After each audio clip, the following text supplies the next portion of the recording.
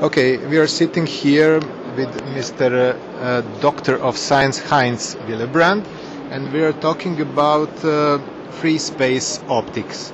Uh, Herr Dr. Uh, Willebrand is representative, CEO and President of LightPointe from United States of America.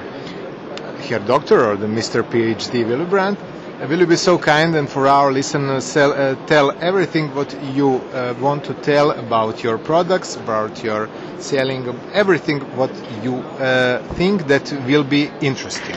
Please. How, much time? How much time do I have? Uh, you have all the time uh, what uh, the the time batteries the batteries have. okay, okay. So the the technology that we as a company called LightPointe are promoting is a technology called free space optics.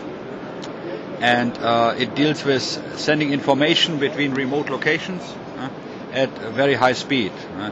So other than uh, wireless solutions that operate in the typical lower frequency range, there is a lot of free spectrum available in the uh, optical uh, arena.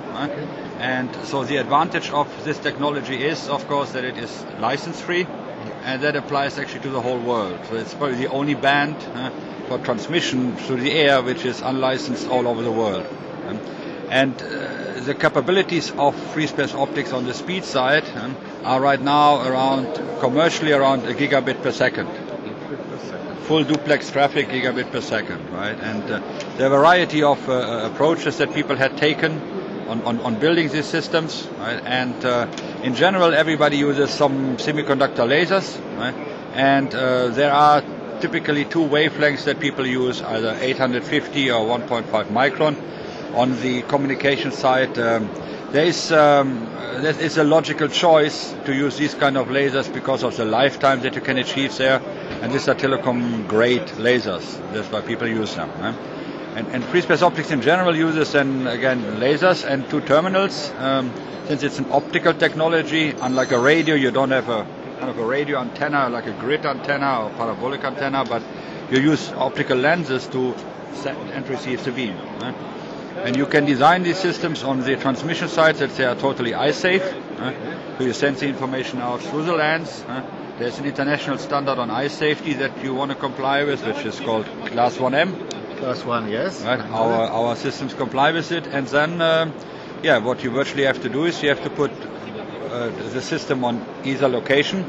You need line of sight, like with all very high frequency signals.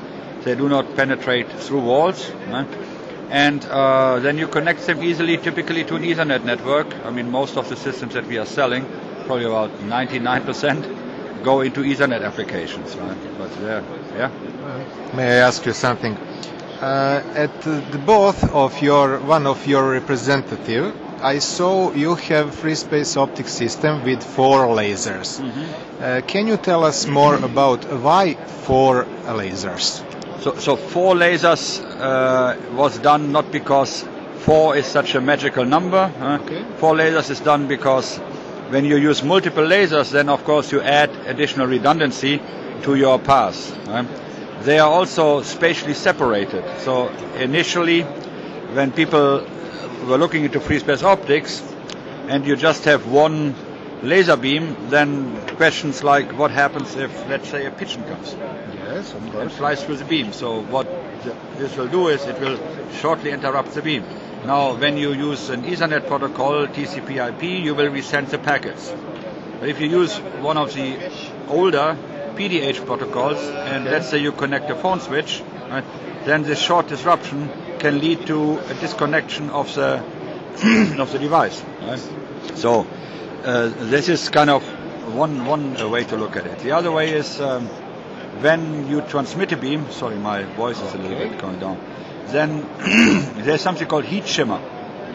Everybody experiences that in summer when you I drive across that. the street and it's hot. Yes, I know then that. you you kind of see it uh, that that the wave field gets a little bit distorted, right? And uh, since we deal with an optical technology, then uh, the free space optic system would see that too, and that would lead to higher bit error rate. So using multiple laser beams, and also when you look carefully at the system, there are also multiple receive lenses. so we use four transmitters and four receive lenses. and we have done extensive research on what that will do to scintillation. I know about scintillation, yes. right? And it will dramatically reduce the impact of uh, on of scintillation. So the bit error rate performance of your system will dramatically increase. And of course, if you use multiple lasers, you also have more power. You're still eye safe, so it gives you a little bit more range. That's the other part too. Yeah. My next next question is, uh, uh, Mr. Uh, Willebrand, Dr. Willebrand, uh, tell us please, if you are using four lasers, uh, how does it mm, multiplicated about uh, mm, security system? Why? Uh, you and I know that uh, one laser beam is a very very high security system for transmission data packets because when you try to interrupt that laser beam the system is going uh, down or uh, stopping everything.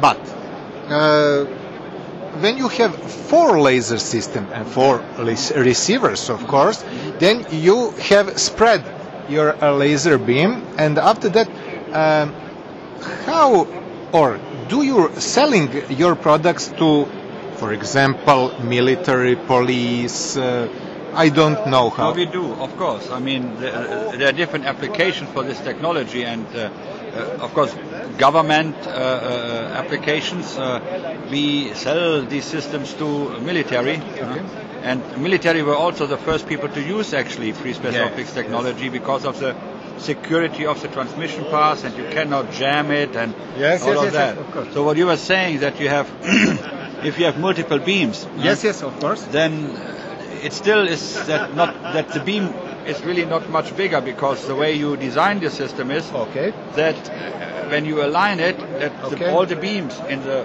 on the far field Yes. they will all overlap, mm-hmm. and so it's not that the beam becomes four times as large because the beam divergence of each single laser beam is the same as if you have four. Right? So there is no uh, uh, no impact there, right? And, and so that does not really impact that that, that uh, security performance there at that point. uh, that is that is very good solution